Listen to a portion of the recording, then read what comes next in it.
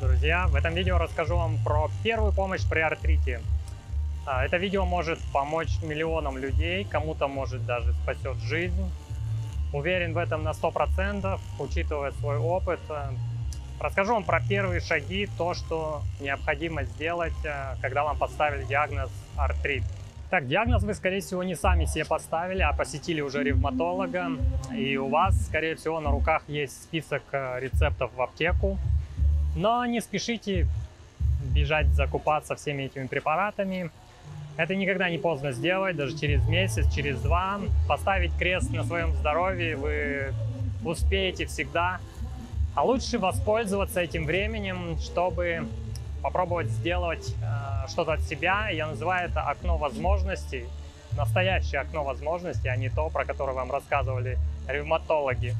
А сейчас возьмите ручку, я перечислю факторы, которые будут очень сильно влиять на ваш уровень воспаления. И если вы сможете исключить это в самое первое время, то вы очень сильно облегчите свое состояние. Рассвет, выхода нет, ключ поверни и полетели.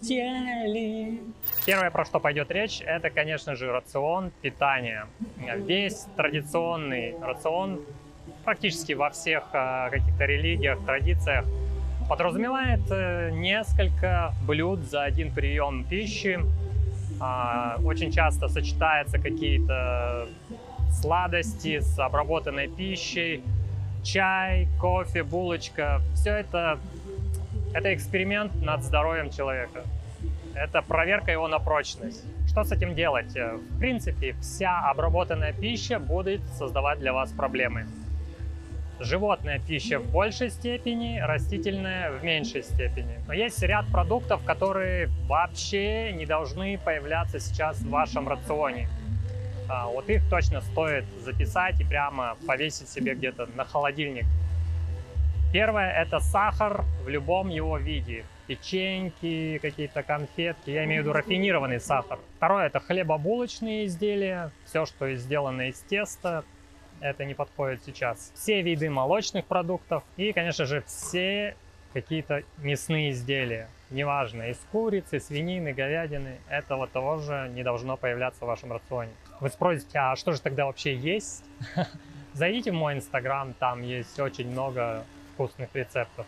Следующий момент, это нужно исключить всю высокоинтенсивную физическую нагрузку. Она, во-первых, будет э, просто тратить ваши силы, которые сейчас организму очень-очень нужны. А во-вторых, э, чрезмерная нагрузка, она провоцирует воспаление. И третий момент, избавьте себя от ненужного эмоционального стресса. Это тяжело сделать как-то мгновенно, но всегда есть над чем работать, с чего начать. И если начать каждый день задумываться над этим, можно в этом деле развиваться, прогрессировать и добиваться нужного состояния. Так что посмотрите еще мой плейлист восстановления здоровья. Там я рассказываю более подробно о всех этих э, моментах. Не надейтесь на медицину. Э, по моему опыту там помощи нет, к сожалению. По опыту людей, с которыми мне пришлось поработать, я понимаю, что там абсолютно нет никакой помощи. Ну, если вы не готовы работать над своим образом жизни, не готовы ничего менять, то да, вам предложат таблеточку, которая поможет вам забыть на время о боли. Но боль вернется и еще и побочные эффекты прибавятся.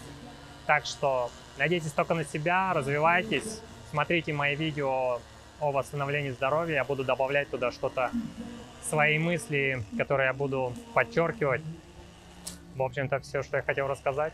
Хорошего дня.